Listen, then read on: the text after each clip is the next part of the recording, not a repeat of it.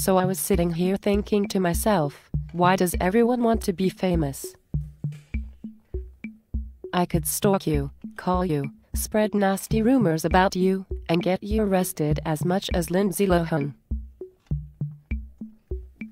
If you wanted to be a singer, I could take a video of you and your horrid voice, change lyrics and make you sound like the fake vocals of Selena Gomez. Want to have your own TV show? Go buy a website, post dumb videos other people created and get rich the lazy way like Daniel Tosh. Want to own a major website like the Facebook guys? Get drunk, pay a few bucks a month for a website, then add all the widgets from other awesome websites you can find and let your friends have fun.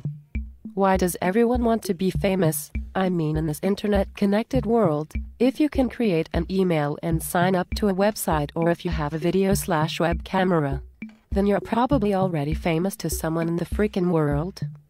I am me. Thoughts all I ever wanted. I don't want recognition or dumb ass people all over me. I want to be invisible just like Obama until he became the first Hawaiian slash dark skinned president. And yeah, I've been dissing all these famous people. None of them are real, and people need to get over it. A couple last minute things Justin Bieber sucks. BTR is just like Backstreet Boys. Boo. All the other pop star icons are just on TV, cause mommy and daddy have the money to put them up there. Thoughts right, I am talking about Miley Cyrus. Dot. BTW comedians are on a whole nother level.